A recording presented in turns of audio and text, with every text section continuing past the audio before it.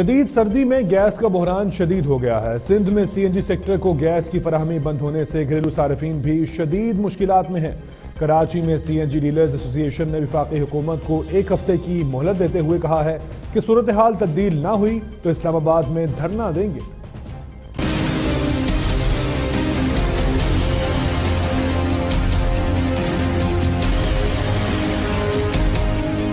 کراچی میں C N جی stations کے مختصر وقت کے لیے کھلنے اور بند ہونے کا سلسلہ جاری۔ سی این جی ڈیلرز ایسوسی ایشن نے حکومت کو ایک ہفتے کے بعد اسلام آباد میں دھرنے کی دھمکی دے دی۔ ڈیلرز ایسوسی ایشن کا کہنا تھا کہ سدرن گیس کی انتظامیہ نے صورتحال بہتر ہونے کے لیے ایک ہفتے کا وقت دیا ہے۔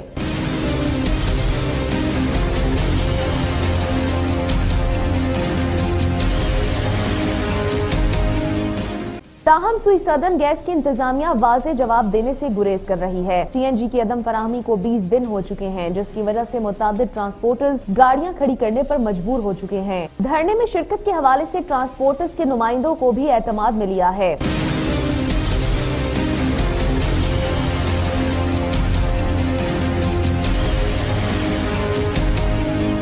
دوسری جانب سی این جی ڈیلرز ایسوسی ایشن نے وزیر اعلیٰ سندھ مراد علی شاہ کو خط لکھا، جس میں کہا گیس مسائل اور دیگر پریشانیوں پر وزیر اعلیٰ کو آگاہ کرنا چاہتے ہیں۔ صوبے بھر میں گیس کے مسائل ہیں وزیر اعلیٰ سندھ نوٹس لیں۔ خط میں کہا گیا، ہمارے کاروبار متاثر ہو رہے ہیں، ملاقات کے لیے وقت دیا جائے۔ خیال رہے شدید سردی میں گیس کا بحران شدید ہو گیا ہے، جبکہ گھریلو صارفین شدید مشکل میں ہیں۔ کراچی سمیت سندھ بھر میں سی این جی سیکٹر کو گیس کی فراہمی بند ہے۔